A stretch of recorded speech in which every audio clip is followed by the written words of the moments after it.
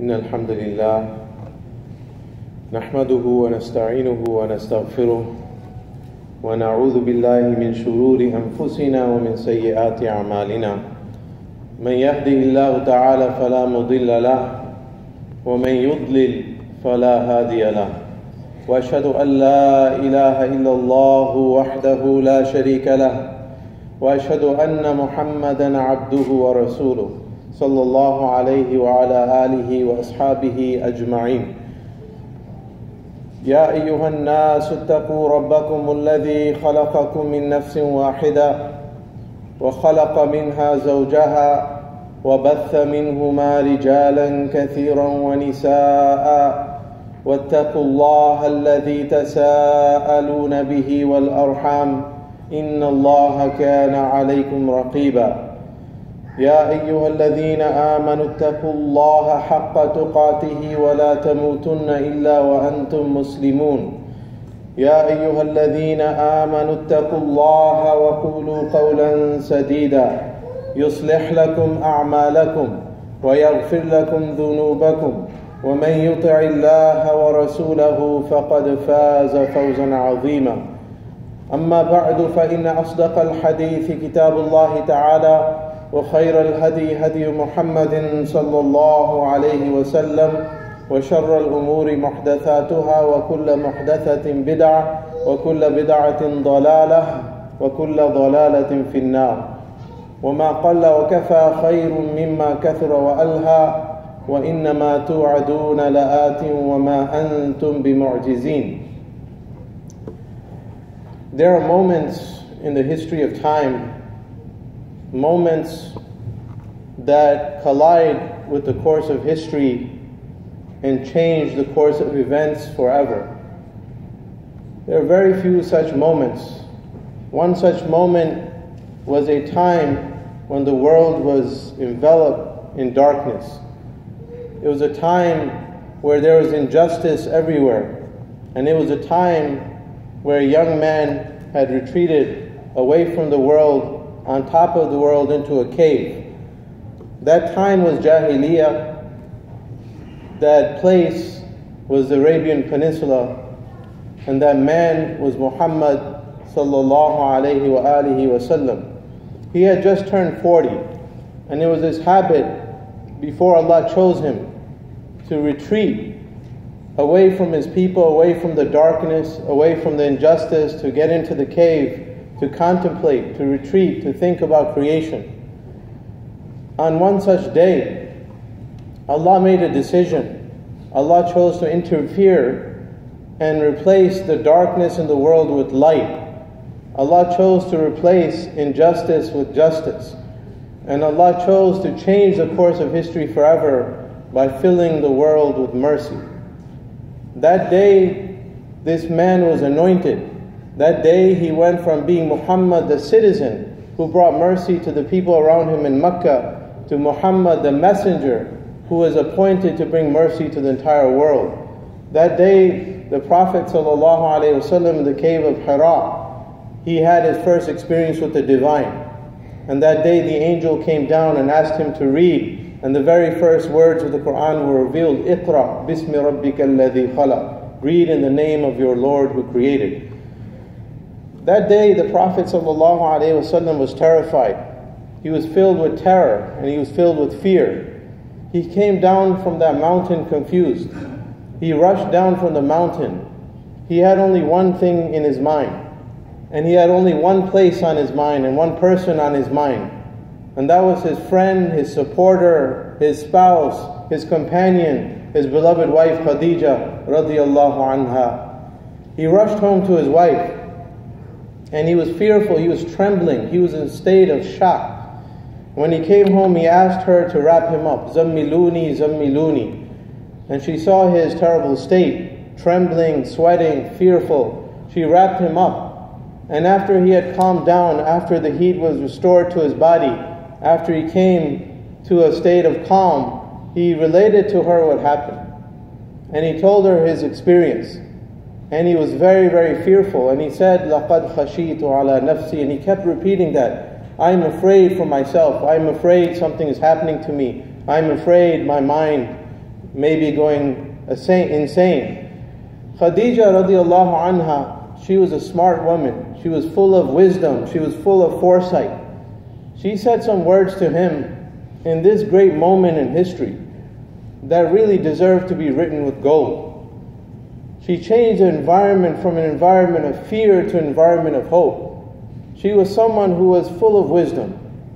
And she said to him, Kalla, no way, never. Wallahi, uh, kalla, abashir. And then she said, abashir, rejoice. Now here is the Prophet wasallam. he's fearful. He's afraid he's going insane or mad. And she's telling him to rejoice, abashir.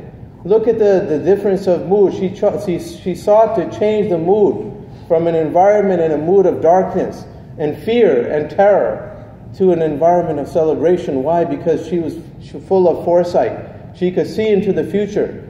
She said, Kalla abushir, fawallahi la yuhzik Allahu abada. She said, Rejoice, because by Allah your Lord will never forsake you. By Allah, your Lord, Allah will never forsake you, will never humiliate you. Why did she say that? Why was she so full of confidence at a time even the Prophet ﷺ was full of fear? Because she knew him. No one knows a person like his own family, especially his spouse. So she knew him very, very well. She knew him before she met him. His reputation had preceded him. She knew him like the people of Mecca knew him. And that was nothing but good. What they knew of him was nothing but good. He was known as As-Sadiq, Al-Amin. And then she knew him as an employer when he began to work for her. And as an employer, what she knew from him was nothing but good. And eventually she proposed to him, and then they became married, and they lived many happy years together. And as a, a wife of this amazing husband, what she knew from him was nothing but good. So she knew this person. She knew that he was the best of the best. She knew he had some amazing qualities and something amazing was in store for his future. Then she gave the reasons why Allah would not forsake him. And she began to list his qualities. And this is just a such an amazing and beautiful summary of who the Messenger of Allah sallallahu alayhi wa alihi was. That's going to be the topic of our khutbah. She said, Kalla abshir, فوالله لا يخزيك الله أبدا. She said, إِنَّكَ لَتَصِلُ الرَّحِمِ Number one, you are the one who maintains the ties of kinship. You are good to your families. She said, وَتَصْدُقُ الْحَدِيثِ And you are the one who is ever truthful in his speech. Anything that ever came out of the mouth of the Messenger of Allah sallallahu alaihi wasallam, even before prophethood, was nothing but the truth. And people knew that. And she said, وَتَحْمِلُ الْكَلْ And you are the one who bears the burdens of others. Any person is in pain in Mecca, the Prophet ﷺ shared that pain. If there was any sorrow in anyone's house, he shared their sorrow. If there was any misfortune, he shared in their feelings and in their emotions. وَتَحْمِلُ الْكَلْ He bore the burdens of others. And then she said, وَتَكْسِبُ الْمَعْدُومِ You always help those who are cut off, those who are destitute. Anyone who's in trouble, who needs any help, they knew where to turn. And then she said, وَتُقْرِ الضَّيْفِ And you are the one who is kind and hospitable to his guests. And then she said, وَتُعِينُ عَلَى نَوَائِبِ الْحَقِّ She began to describe him with characteristic after characteristic. And finally she said, And you are the one who restores the rights to those whose rights are due, those whose rights are snatched. This was, in essence, the life of the Prophet sallallahu alaihi wasallam before he was anointed. He was ever in the service of others. His entire life can be summarized in this beautiful statement, this beautiful description. Someone who helped others, someone who cared about others, someone who felt the emotions of others, someone who was trustworthy, someone people could trust and confide in, someone who solved the problems of people. This was the state of the Messenger of Allah sallallahu alayhi wa alihi wasallam. He was a Sadiq al-Amin before he was a Rasul and Nabi. He had to be a Sadiq al Amin, he had to be the trustworthy one and the truthful one, someone who earned the trust of his people before he became the Prophet and the Messenger. This was a very, very important part of his personality. And that's why Khadija was so filled with hope. and so inspired, and she gave him comfort and restored his confidence that something amazing was in store for the future. Now, the Prophet ﷺ was always in the service of others, and then when he came into Islam and he was anointed, and he continued or he began his ministry as the Messenger of Allah ﷺ, he raised that bar even further. He continued that life, those essential characteristics, and he became someone who was always in the service of others in a more refined and perfect way. So, to skip forward, when he came to Medina, for instance, this was another amazing and great moment in history. He came to Medina after his entire 13 years in Mecca with this long struggle and persecution, and just a handful of people accepted the message. He found refuge in the city of Medina, and the people accepted him as their new leader. So he arrived after making the hijrah and this was a moment where everyone in the city was talking about him, sallallahu alaihi wasallam. And all eyes were on him. And when news came that he was arriving, the entire population came out in the streets.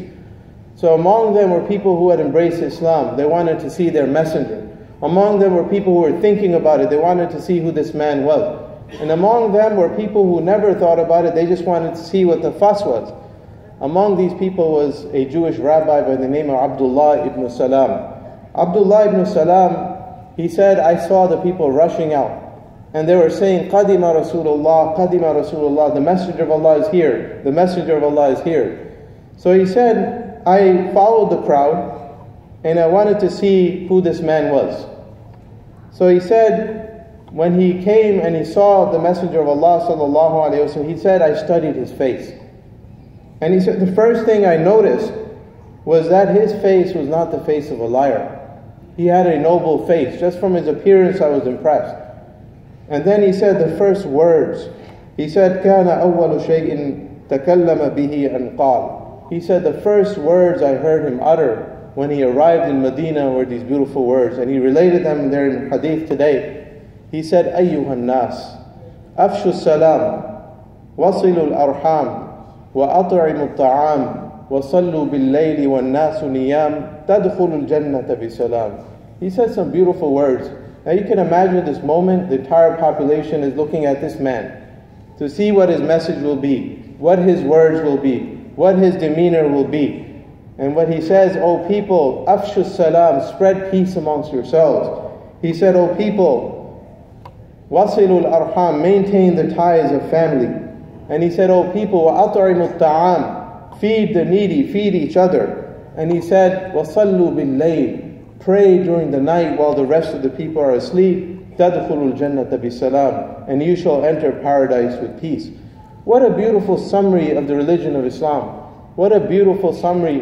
How can you summarize something more perfectly and more in, in such a perfect way and balance? That this is what Islam is all about spreading peace among people, maintaining family relations, you know, serving others by feeding them, and then your personal worship, worshiping Allah personally while the people are asleep. This is the path to paradise. If you look at these four characteristics, three of them have to do with service to others, and the last one has to do with serving Allah. So this is a simple summary of Islam. This was a beautiful message the Prophet ﷺ brought to his life, even before prophethood, he perfected, perfected it during his life in Mecca, and he refined it even further when he arrived in Medina, and he continually taught people to help others, to give, to be in the service of others. Uh, in Arabic, being in the service of others or helping others is sadaqah. So he used to teach his companions in Medina. He used to teach them ala kulli Muslim sadaqah. And I'll end with this advice of his such a beautiful advice. You know, many of us, when we think about these things, we might, you know, shaitan comes to our minds and we'll say, you know, sadaqah is for those who have money, it's not for me, or that's for that person, or this verse is talking about that person, this hadith is about that person. We always like to deflect these things away from us. So the Prophet wasallam, he was a master teacher. So one time in an audience, he taught them, he said, Ala kulli Muslim sadaqah. He said every single Muslim should perform sadaqah, should help others, should give charity. So the companions in the audience are sitting there, and one of them asked a question. قال أرأيت إن لم يجد. So someone asked the Messenger of Allah, O Messenger of Allah, what if I don't have the means? It's a question all of us may be asking at some point in our lives. You know, when you're in a fundraising dinner, they're asking you to contribute. And sometimes, you know, you may be a college student or you're going through financial difficulties and you might think, how can I help? So this companion in the audience, he said, Oh Messenger of Allah, what if we don't have the means to give sadaqah, financial charity? What did the Prophet say, sallallahu alayhi wa Just think about what you would say. Maybe make dua until things get better and then you can help. The Prophet said to him, قال صلى الله عليه وسلم يعمل بيديه فينفع نفسه يتصدق. He said, go out and do something with your hands so you can earn something to help yourself and help others. In other words, he said, go get a job and make some money so you can help the community. So first he said, everyone should give sadaqah. And someone asked, what if we don't have something to give sadaqah with? He said, go get a job, do something with your hands so you can help yourself and then help the communities. Now, someone in the audience, he still asked him, he said, أَرَأَيْتَ إِلَّمْ يَسْتَطِعْ What if I can't even do that? So there's someone thinking in the audience, what if I don't have the means to get a job, or physically I can't create the resources to help others? Now, the Prophet, he didn't say, okay, that's enough. He gave him an option too. There was no person left behind in his teaching. He said, يُعِينُ ذَا الْحَاجَةِ الْمَلْهُوفِ He said, if you can't give money in charity, if you can't get a job to create money or create the resources to give in charity, then he said at least go out and help someone in need or in distress. He said, Go out and physically help someone who's needy or in distress. So this man or another person in the audience, he asked, he continued, he said, Ara'ayta illam yastata. You can imagine another companion now he's saying, What if I can't even do that? Now this is an amazing lesson. Allah chose these companions and Allah chose the Messenger of Allah sallallahu wasallam to teach us for the end of time. Any question we have today, likely it is answered in the Quran and the Sunnah. The companions did our job for us. So someone asked, What if I can't go out and help someone physically? So the Prophet he said, Sallallahu alayhi Wasallam, Ya'muru bil awil khayr. Then the least you can do is go out and teach the good and teach, the, teach um, virtue and forbid the evil in other narrations. So at least teach people something. Teach people to do something good. Point them in the right direction. So this is one of the final steps. Now, someone still asked a further question, أَرَأَيْتَ إِلَّمْ يَفْعَلْ What if a person cannot even do that? In terms of helping someone, in terms of giving charity, or in terms of even teaching someone or pointing them in the right direction. And the last thing the Messenger of Allah sallallahu alayhi wa alihi wasallam, he said, يُمْسِكُ عَنِ الشَّرْ فَإِنَّهَا صَدَقَةً He said, then stay out of trouble, and that is your charity. Withhold your evil from the people, and that is your charity. The least thing that we can do, if we can't contribute to the solution, if we can't be part of the solution, if we can't help in any way, at least don't be part of the problem. So look at the amazing wisdom and insight of the Messenger of Allah sallallahu alayhi wa alihi wasallam. There was no person left behind. He began by saying, Ala kulli Muslim sadaqah. Every single Muslim deserves to give sadaqah. And then through the step by step process, he gave the priorities where every single person can be part of it. No one is left behind. The very least you can do, it's very hard to imagine someone who can't do any of these steps.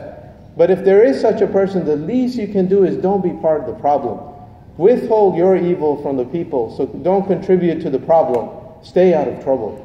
These are the amazing wisdoms of the Prophet ﷺ. We ask Allah to make us among His followers. أقول قولي هذا وأستغفر الله لي ولكم.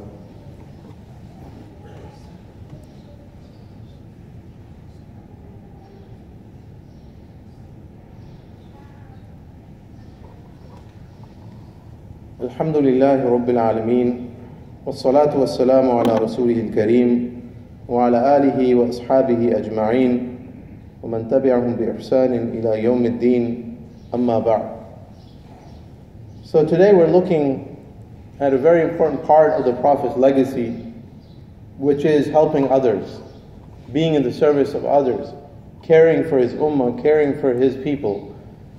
And we saw, or we looked at a glimpse of his life before prophethood. These prophets, the Anbiya and the Rusul, the prophets and messengers, were chosen by Allah for a reason. They were the best of their people. So you'll find many of their amazing qualities even before they were chosen. And when they were chosen and they became under the guidance of Allah, under the shade of revelation, their life was perfected even more. So our Prophet sallallahu alaihi wasallam, he was someone who always helped others.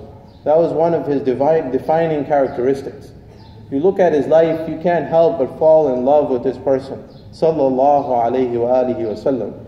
And when he came into Islam, he continued that tradition of serving others, helping others. And he continued to teach people at every moment of his life in the most effective ways imaginable how to help others and how to be in the service of others. Sometimes we as Muslims, we lose sight of this priority and this mission. Sometimes we feel, you know, being religious or being close to Allah means praying a thousand rak'ahs or engaging in a lot of personal worship, which is very important. But if you look at the instructions of the Prophet ﷺ when he came to Medina, there are four characteristics he mentioned the last one, and that may be the most important one, but it's the last one.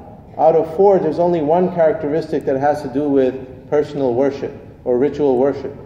The first three he emphasized was spreading peace amongst each other, saying the greetings, saying salam, and living a life of peace, and then feeding others, maintaining your family relations.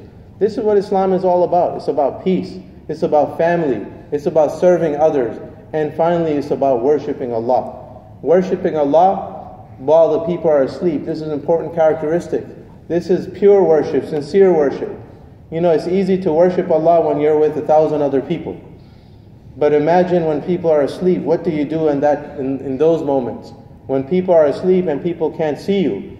You know, what's your life in those moments? And we saw in some of the classes we do how the life of the Prophet, ﷺ, even during the night, when no one was watching, except maybe perhaps his wife Aisha or one of his wives or one of the companions, they would observe after everyone falls asleep, he would get up and he would spend his nights in tears and in worship, worshipping Allah Azza wa. So this is the formula. I'll end with a, another statement of the Prophet wasallam. You know, ask yourselves, who's the closest to Allah? Who do you think Allah loves the most in the world? Who are the people who are most beloved to Allah? If you think about that, we might come up with various different answers. We might come up with answers the man who memorized the most Quran and Hadith, or the one who teaches the most, or the one who has this or that, or the one who worships and prays a thousand rak'ahs a day, or so on and so forth. Generally, when you read our books of history, these are the people we praise. These are the people we um, elevate and consider to be the most beloved to Allah.